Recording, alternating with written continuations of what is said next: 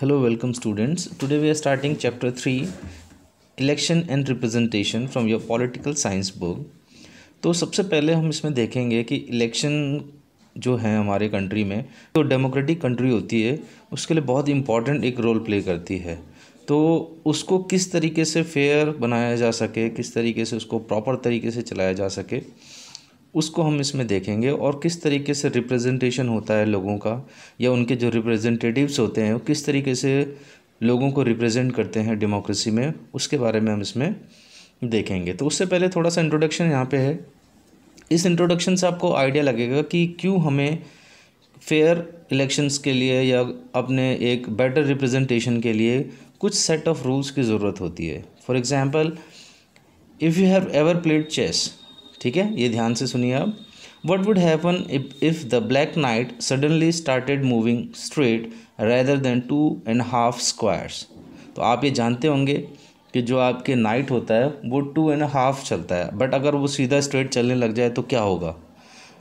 Okay और what would happen if in a game of a cricket there were no umpires तो इसमें क्या होगा? In any sport we need follow some certain rules okay so so, ये आपको क्या समझाना चाह रहे हैं कि कोई भी अगर गेम हो उसके लिए आपको कुछ सर्टेन रूल्स की आवश्यकता होती है जिसको आपको फॉलो करना होता है। Change the rules and outcome of the same would be very different अगर आप कोई भी रूल चेंज करते हैं तो आउटकम सेम थोड़ी रहेगा जो पहले था वो नहीं रहेगा ठीक है ना? Similarly a game needs an impartial umpire whose decision is accepted by all the players ठीक है?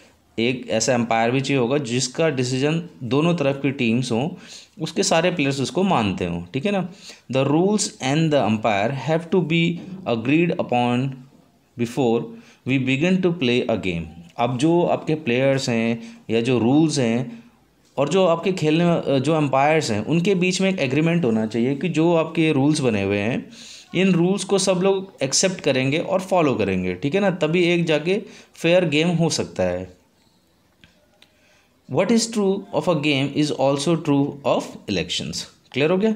तो जिस तरीके से ये चीज़ गेम के लिए काम कर रही हैं, उसी तरीके से ये चीज़ें जो आपके सेट ऑफ़ रूल्स होते हैं या जो कुछ ऐसे इंस्टीट्यूशंस होते हैं जो एम्पायर का काम करते हैं इलेक्शन में, जो देखते हैं कि हर चीज़ सही हो रही है, नहीं हो रही है तो वही चीज़ इलेक्शन में भी आपके काम करती है। देर आर डिफरेंट रूल्स और systems of conducting elections the outcome of the election depends on the rules we have adopted clear हो गया? कि ये डिफरेंट टाइप के आपके इलेक्शंस होते हैं, पर जो उनका आउटकम्स होता है, वो डिपेंड करता है कि आपके यहाँ किस तरीके के रूल्स हैं इलेक्शंस के, ठीक है ना?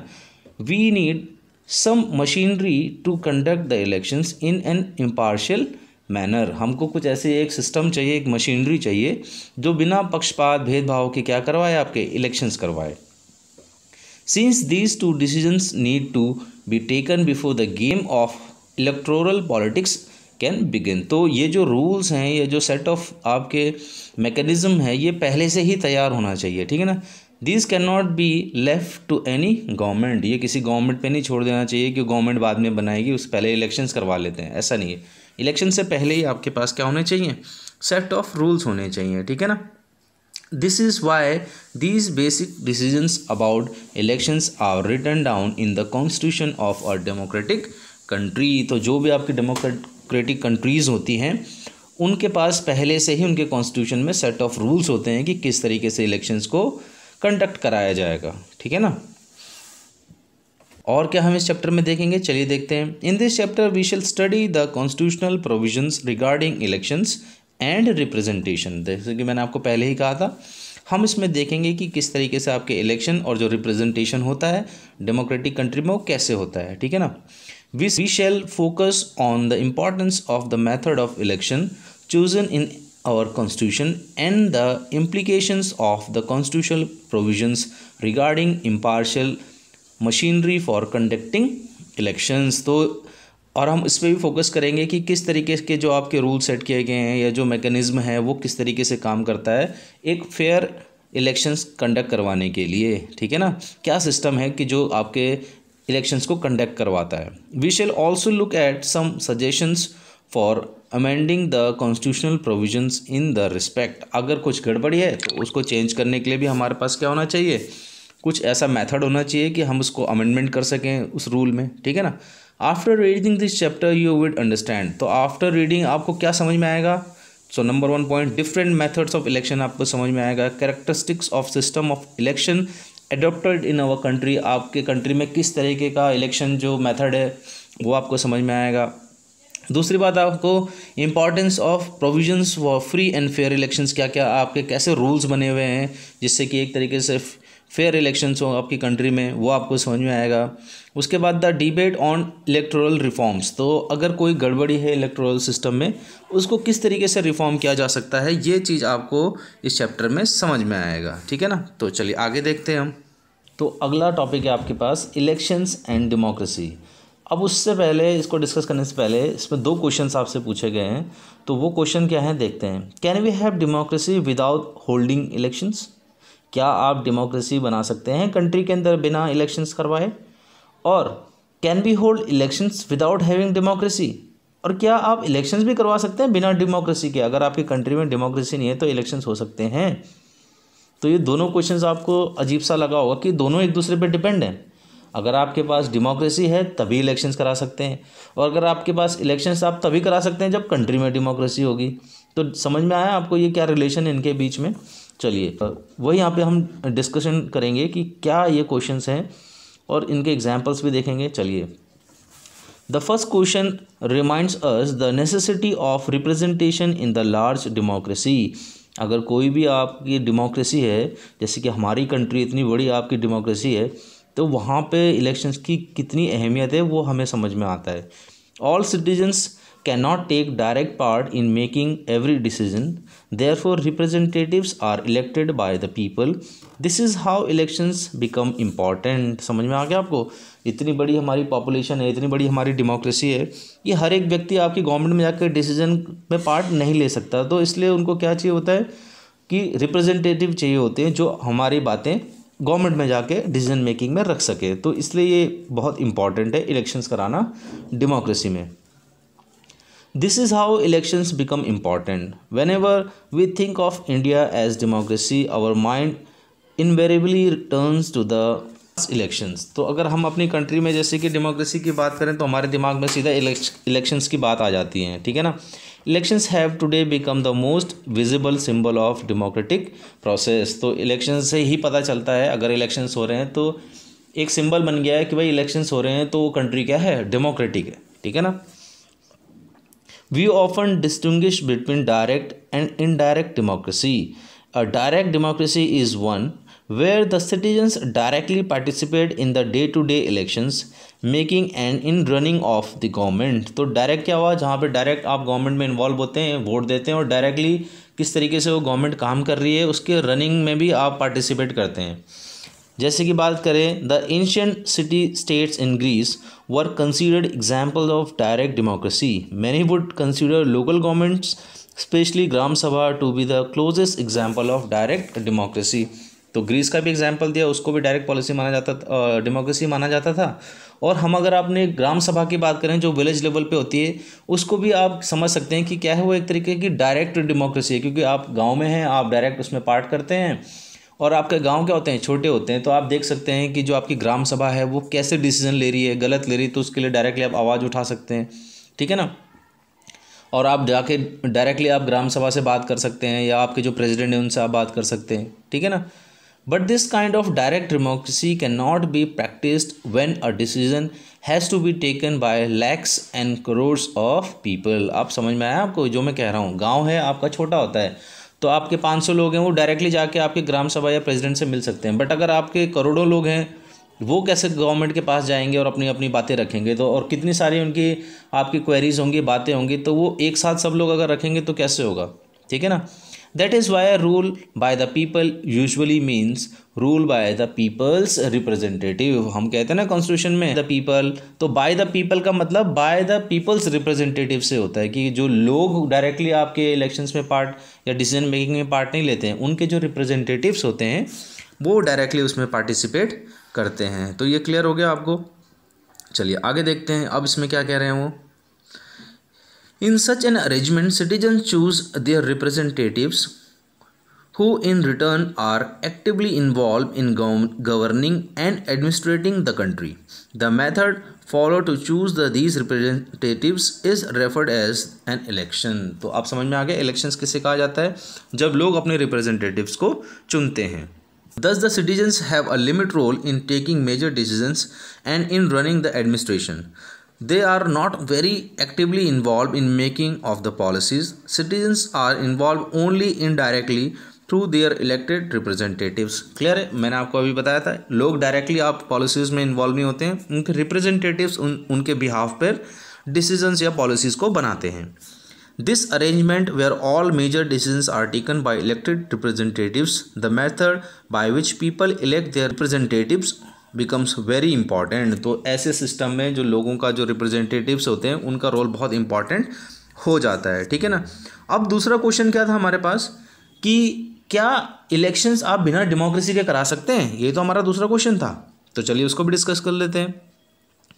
The second question reminds us the fact that not all elections are democratic ठीक है ना?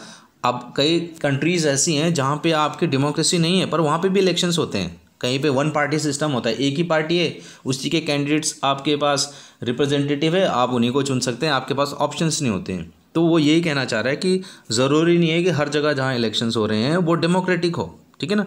A large number of non democratic countries also hold elections In fact, non-democratics rulers are very keen to present themselves as democratic. समझ में आ गया? तो जिनके पास democratic rule नहीं है या जहाँ पे सिंगल पार्टी है वो ज़्यादातर इलेक्शंस को दिखाते हैं। ये शो करने के लिए कि भाई हम तो बहुत डेमोक्रेटिक कंट्री हैं और हम जो भी हैं, अपने रिप्रेजेंटेटिव्स वो लोगों के द्वारा चुने जा रहे हैं, ठीक है ना? तो उस चीज़ को शो करते हैं। They also do so by holding elections in such a way that it does not threaten their rule ठीक है ना? वो इस तरीके से इलेक्शंस को होल्ड कराते हैं, जिससे कि सबको लगे सब इलेक्श आपका इलेक्शन के थ्रू हो रहा है और उनका जो रूल चल रहा है उसको कोई खतरा ना हो, ठीक है ना? You can think of some example of such non democratic elections what do you think about distinguish a democratic form और a non democratic elections what can be done in to ensure that elections in a country would be conducted in a democratic way तो आपको ये क्या कह रहे हैं? आपको देखना चाहिए कि आप किस तरीके से डिस्टिंग्विश करोगे कि कौन सा डेमोक्रेटिक है, कौन नॉन डेमोक्रेटिक इलेक्शंस हो रहे हैं। ठीक है ना? और किस तरीके से एक प्रॉपर डेमोक्रेटिक वे से आप इलेक्शंस को कंडक्ट करवा सकते हैं, ठीक है ना? तो वो सारी चीज़ें हमने अभी डिस्कस करी और आगे भी करेंगे, चलिए। This is where constitution comes in अगर यही मेन रोल है, क्योंकि हम लोग तो हर चीज़ आप, उसमें आप रूल्स और पॉलिसीज़ में नहीं आ सकते हैं। बट कॉन्स्टिट्यूशन के पास वो रोल है कि वो उस रोल को अपना सकता है कि इलेक्शंस क्या हों। डेमोक्रेटिकली बिल्कुल फेयर इलेक्शंस हों, ठीक है ना? The constitution of a democratic country lays down some basic rules about elections ठीक है? मैंने आपको पहले भी कहा था स्टार्टिंग में इंट्रोडक्शन में कहा था कि कोई गेम हो या कोई इलेक्शन हो, उसको कुछ बेसिक्स रूल्स होते हैं, कुछ मेथड्स होते हैं, एक मशीनरी होती है जो उसमें काम करती है। और वो मशीनरीज और रूल्स कहाँ होते हैं? आपके कॉन्स्टिट्यूशन ऑफ़ अ कंट्री में होते हैं, ठीक है ना? The details are usually left to be worked out by laws pass by the legislatures these rules are usually about अब वो रूल्स क्या क्या हो सकते हैं जो उसमें लेजिस्लेचर के द्वारा बनाए जाते हैं इलेक्शंस को फेयर करने के लिए? जैसे कि who is eligible to vote vote कौन कर सकता है? ठीक है? Who is eligible to contest और इलेक्शन में कौन आदमी खड़ा हो सकता है इलेक्ट रिप्रेजेंटेटिव के लिए? ठीक है ना?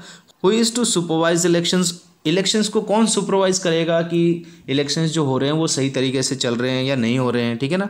How do the voters choose their representatives और वोटर किस तरीके से अपने रिप्रेजेंटेटिव को चुनेंगे?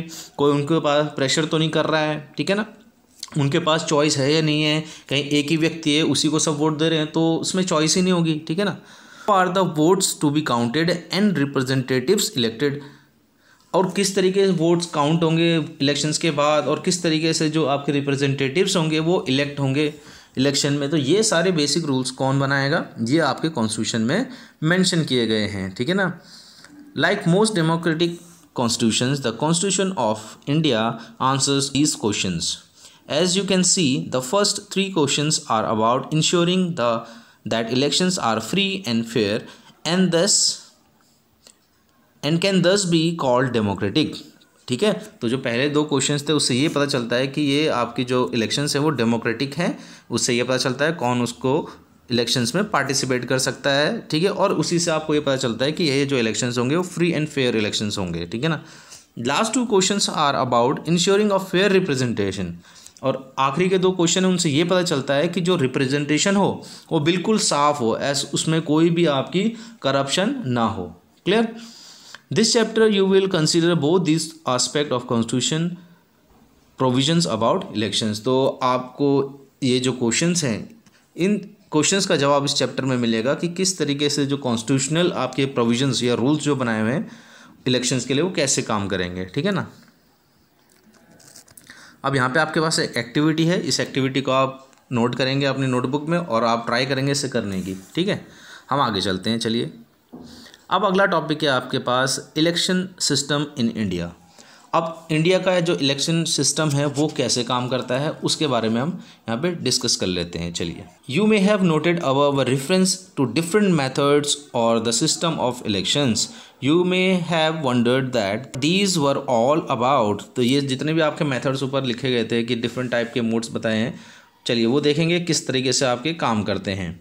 यू मे हैव सीन और read about different methods of electioneering or campaigning in the elections but what are different methods of elections there is a system of conducting elections there are authorities and rules about do's and don'ts is that what election system is all about तो ये आपसे question पूछ रहा है कि हमारे जो constitution में हर चीज़ को मेंशन किया गया है कि किस तरीके से जो इलेक्शन कंडक्ट होंगे उसके बाद जो आपके जो जो इलेक्ट्रिंग होंगी या जो आपकी जो कैंपेनिंग होगी, वो किस तरीके से होगी, ठीक है ना? क्या आपको, जो आपके इलेक्शन कंडक्ट होते हैं, वो उसमें क्या चीज़ करना चाहिए अथॉरिटी को, उसको फेयर और फ्री बनाने के लिए और क्या उनको नहीं करना चाहिए तो सारे रूल सेट हो गए हैं। तो क्या यही बस एक आपका जो इलेक्शन सिस्टम बस यही है? उसको भी हम चलो डिस्कस करेंगे। You may have wondered why the constitution needs to write down how the votes are to be counted and representatives elected अब ये क्या ज़रूरत थी लिखने की कॉन्स्टिट्यूशन में कि वोट कैसे काउंट होंगे या रिप्रेजेंटेटिव्स कैसे आपके इलेक्ट होंगे? तो सिंपल है, आपके वोट आए हैं ऑब्वियस है, लोगों ने वोट दिया है कैंडिडेट को जिसको ज़्यादा वोट मिले, वो आपका रिप्रेजेंटेटिव चुन लिया जाएगा। ठीक है ना? ये तो इसका मेन रीज़न होगा। आपको क्या लगता है? ठीक है, आप भी सोचेंगे इस बारे में। बट इसमें थोड़े से कुछ और आस्पेक्ट्स हैं, उनको भी हम डिस्कस करेंगे तो और ज़्यादा आपको क्लियर हो जाएगा। तो ये आपको सोचना है because this question is not as simple as it appears to us इतना सिंपल नहीं है, ठीक है ना? We have got so use to our system of election that we think that there can not be any other way तो हम अपनी elections की इतनी आदत पड़ चुकी है कि हमें ऐसा लगता है कोई और भी रास्ता नहीं है बट वहाँ पे है डिफरेंट वेज हो सकते हैं। चलिए देखेंगे कैसे। In a democratic election people vote and and their reference decides who will win the contest but there can be very different way in which people make their choices and very different way in which their references can be counted these different rules of game can make a difference to who the winner of the game will be some rules can favor bigger parties some rules can help smaller parties तो ये आप ये समझाना चाह रहे हैं कि जो कुछ रूल्स आपने बनाए हुए हैं कि किस तरीके से इलेक्शंस होंगे कई बार वो ऐसे रूल्स क्या होते हैं वो कई बार बड़ी पार्टी को सपोर्ट करते हैं, कई बार वो आपकी जो लोकल पार्टीज़ होती हैं, उनको सपोर्ट करते हैं। तो उससे क्या होता है कि जो आपके इलेक्शन का रिज़ल्ट है या जो रिप्रेजेंटेटिव्स होते हैं, उनमें बहुत डिफरेंस देखने को मिल सकता है, ठीक है ना? चेंजेस हो सकते हैं उसमें। Some rules can favour the majority community others can protect the minorities तो ये कुछ ऐसे रूल्स बने हैं, जो हर एक को देखने को मिलता है कि उसके फेवर में आपको काम करते हैं। कई बार वो मेजोरिटी के फेवर में काम करते हैं, कई बार वो माइनॉरिटी के फेवर में काम करते हैं, ठीक है ना? तो इस चीज़ को हम देखेंगे आगे कि कैसे ये देखने को मिलता है डिफरेंसेस ठीक है ना? तो वो फ़र्स्ट सिस्टम के हम तरफ़ चलते हैं और देखते हैं कि ये क्या समझाना चाह रहा है ये कैसा सिस्टम है? First past and post system अगर आप इस न्यूज़पेपर में देखें तो इसमें क्या लिखा है? पहली बार कांग्रेस को तीन चौथाई बहुमत। तो इससे आपको क्या देखने को मिलता है, उसको हम इसमें डिस्कस करते हैं नेक्स्ट पैराग्राफ में चलिए। It talks one of the historical movement in India's democracy. In the Lok Sabha elections 1984, the Congress party came to power, winning 415 out of 543 Lok Sabha seats, more than 80% of the seats. समझ में आया वो तो 80% seats यहाँ पे कांग्रेस ने जीती 1984 में such a victory was never achieve by any party in Lok Sabha what did this election show अब इस इलेक्शन से क्या समझ में आता है? उसको हम इसमें डिस, डिस्कस करेंगे। ध्यान से आप समझेंगे इसको। ठीक है ना? आपको थोड़ा सा ये कन्फ्यूज़न लग सकता है बट ये बहुत इंपॉर्टेंट है और इसको समझेंगे। इस टॉपिक को समझने के लिए कि जो आपका first pass the post system क्या है। The Congress party won four fifth of the seats does it mean that four out of five Indian votes voted for the Congress party तो यहाँ पे कि फोर फिफ्थ ऑफ़ जिस जो seats थी total seats कितनी थी आपके पास? Five hundred forty three seats थी तो उसकी फोर फिफ्थ वहाँ पे कांग्रेस ने जीती। तो इसका क्या मतलब हुआ कि जो फाइव वोटर्स थे इंडियन वोटर्स थे, क्या उनमें से चार लोगों ने कांग्रेस को वोट दिया होगा? चलिए देखते हैं। नहीं दिया होगा। क्यों? Take a look at the enclose table the Congress party got forty eight percent of the votes this means that only forty eight percent of those who voted voted in the favour of the candidates put up by the Congress party तो जो भी आपके candidates put up किए थे Congress party ने, उनमें से 48 percent को लोगों ने वोट किया, ठीक है ना? But the party still manage to win more than 80 percent seats पर अगर आप सीट्स की बात करें तो उस 48 परसेंट जो कैंडिडेट्स रिप्रेजेंटेटिव जो जीते, उन्होंने 80 परसेंट सीट्स पे उसकी लोकसभा की विक्ट्री पाई, ठीक है ना? अब हम नीचे कुछ परफॉर्मेंस देख लेते हैं टेबल बनी है हमारे पास। जैसे कि अगर हम 1984 की जो इलेक्शन अभी हम इनको डिस्कस करें, उनकी बात करें तो कांग्रेस पार्टी को टोटल वोट्स के कितने परसेंट मिले? 48 परसेंट और सीट्स कितनी है देखिए? 415 सीट्स हैं। और अगर आप वहीं बीजेपी की बात करें तो उतने कितने परसेंट उनको मिले? 7.4 परसेंट मिले। और सीट्स कितने जीते उन्होंने? केवल टू जीती है। वैसे अगर आप जनता की बात करें, उन्होंने 6.4 परसेंट वोट्स मिले। अब देखो, इनके वोट्स कम है बीजेपी से, पर उनकी सीट देखो ज़्यादा है, ठीक है ना? उसी तरीके से आपको डिफरेंट डिफरेंट टेबल्स आपको देखने को मिल जाएँगे नीचे, जिनके परसेंटेज कम है बट सीट्स ज़्यादा हैं। तो ये चीज़ क्या दिखाती है आपको कि उनके इतने परसेंट केवल आपके जो वोट्स मिले हैं, पर उनकी सीट्स उनके जो रिप्रेजेंटेटिव्स थे, वो, उनकी सीट्स में वो ज़्यादा थे, ठीक है ना? अब this happen because in our country we follow a special method of elections under the system अब क्या होता है? हमारे यहाँ जो इलेक्शन सिस्टम है, वो क्या है? Entire country is divided into five hundred forty three constituencies तो हमारी टोटल कंट्री के अंदर कितनी कॉन्स्टिट्यूएंसीज हैं लोकसभा की? Five hundred forty forty three आपकी कॉन्स्टिट्यूएंसीज हैं। Each constituency elects one representative ठीक है? यही तो होता है। हर एक जगह का एक ही एम एल ए, एक ही विधायक आपने सुना होगा। तो हर एक कॉन्स्टिट्यूएंसी से आपका एक ही आपका रिप्रेजेंटेटिव चुन के जाता है। The candidate who secures the highest number of votes in the constituency is declared elected और अगर चार कैंडिडेट हैं, जिस भी कैंडिडेट को सबसे ज़्यादा वोट मिलते हैं, उसको ही इलेक्टेड समझा जाता है। यही तो हुआ आपका जो भी हमारा सिस्टम है। It is important to note that in this system whoever has more votes than all other candidates is declare elected यही होता है इसमें। The winning candidate need not sure a majority of votes अब आपको क्या कहा उसने? ये बहुत इंपॉर्टेंट लाइन है। अब आपको ज़्यादा वोट मिले हैं पाँच कैंडिडेट से तो आप इलेक्ट हो गए। बट इसका मतलब ये नहीं है कि आपको मेजोरिटी ऑफ़ वोट्स लेने पड़ेंगे। मतलब ज़्यादातर वोट आपको मिले हैं, ऐसा नहीं है। आप अठारह परसेंट वोट भी आपको मिले और बीस लोग खड़े हैं तो आप अठारह परसेंट में ही जीत गए। जबकि आपके जो वोटर्स थे वो हंड्रेड परसेंट थे। समझ में आ रहा है? मैं क्या समझाना चाह रहा हूँ यहाँ पे? कि आपका वोट परसेंटेज मैटर करेगा, आपकी मेजोरिटी मैटर नहीं करेगी, कि आपको ज़्यादा लोगों ने चुना है या कम लोगों ने चुना है। अगर कम लोगों ने चुना और फिर भी आप जीत गए तो आप इलेक्टेड हैं। ये इंडिया का इलेक्शन का जो सिस्टम है, ठीक है ना? This method is called the first pass the post system ठीक है ना? F P T P system इसको कहा जाता है। The electoral race the candidate who is ahead of others though crosses the winning post first of all is the winner ठीक है ना? कैंडिडेट फ़र्स्ट उस चीज़ को पार कर लेते हैं वोट्स के, उनको वो वोट्स में विक्ट्री मिल जाती है, ठीक है ना? The method is also called the system ठीक है ना? This is the method of election prescribe by the constitution तो ये आपका मेथड है, जो कि कॉन्स्टिट्यूशन में मेंशन किया गया है इंडिया के, ठीक है ना? तो ये जो आपको नेक्स्ट पैराग्राफ में समझा रहे हैं कि परसेंटेज का जो आप, मैंने अभी आपको थोड़ी देर समझाया कि आप मैटर नहीं करता, आपको कितने परसेंट वोट मिले अगर आपको ज़्यादा मिले तो आप जीत गए हैं। वही चीज़ें यहाँ पे दिखा रहे हैं। और इससे क्या होगा, अगर आप केवल बीस परसेंट वोट में जीत गए तो बाकी का जो एटी परसेंट वोट था, वो तो सारा वेस्ट हो गया। क्योंकि ज़्यादातर जो मेजोरिटी थी, वो तो हार गई, क्योंकि आपको बीस परसेंट में ही विक्ट्री मिल गई। ठीक है ना? अगर आपके पास छः कैंडिडेट थे और आपको बीस परसेंट मिल गए बाकियों को थोड़ा थोड़ा कम मिले, किसी को सेवनटीन परसेंट किसी को seventeen point five percent vote मिले। तो आप तो ट्वेंटी परसेंट वोट में ही जीत गए। तो बाकी जो मेजोरिटी थी, जो हार गई, जिनका रिप्रेजेंटेटिव नहीं आया, वो इस हमारे इलेक्शन सिस्टम में उसको हारा हुआ माना जाता है। तो ये चीज़ यहाँ पे इन्होंने डिस्कस करी है। अब है अगला सिस्टम जो है, उसे कहते हैं प्रोपोर्शनल रिप्रेजेंटेशन अब प्रोपोर्शनल रिप्रेजेंटेशन इसको पी आर शॉर्टकट में लिखते हैं। तो इसका क्या इसका मेथड है? उसको भी हम डिस्कस कर लेते हैं। Let us compare this to how elections take place in Israel that follows a very different system of elections अब इसराइल में क्या होता है? वो भी हम यहाँ पे डिस्कस कर लेते हैं। In Israel once the votes are counted each party is allotted the share of seats in the parliament in proportion to its share of votes देखो कितना डिफरेंट इनका मेथड है।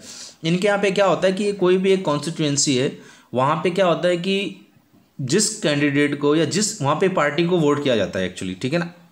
तो जो आपका प्रोपोर्शनल रिप्रेजेंटेशन होता है, वहाँ पार्टी को वोट किया जाता है और पार्टी को वोट करने के बाद देखा जाता है कि किस पार्टी को ज़्यादा या किस पार्टी को कितना आपका वोटर्स का शेयर मिला है। अगर आपको फोर्टी परसेंट आपको वोट्स मिले हैं तो वहाँ पर रिप्रेजेंटेटिव एक से ज़्यादा भी हो सकते हैं, एक कॉन्स्टिट्यूंसी में बट उनको जो सीट्स मिलेंगी लोकसभा में वो उसके जो शेयर ऑफ़ वोट्स होंगे, अगर फोर्टी परसेंट है तो उसी का रेशियो निकाला जाएगा टोटल सीट्स में से और उसको फोर्टी परसेंट के हिसाब से वहाँ पे आपका रिप्रेजेंटेटिव मिल जाएगा। तो आपको ये समझ में आया? हमारे यहाँ था, जिसको ज़्यादा वोट मिले, वो जीत गया। बट वहाँ पे ऐसा नहीं होता है, वहाँ पे कॉन्स्टिट्यूंसी क्या करती है आपकी? पार्टी को वोट देती है और जिस पार्टी को ज़्यादा वोट मिलते हैं, उसी के, उसी परसेंटेज के हिसाब से रिप्रेजेंटेटिव को लिया जाता है। वहाँ पे एक कॉन्स्टिट्यूंसी में तीन भी आपके रिप्रेजेंटेटिव हो सकते हैं। अगर उस पार्टी को उतने परसेंटेज वहाँ पे वोट मिला है तो उसके परसेंटेज वोट के हिसाब से उनको शेयर किया जाता है। तो ये मेन डिफरेंस था आपका किसमें? प्रोपोर्शनल रिप्रेजेंटेशन में ठीक है ना? अब हम इसमें थोड़ा सा आगे देखते हैं। आपको यहाँ से क्लियर हो जाएगा। Israel follows proportional representation system of elections elections to the legislature place every four years.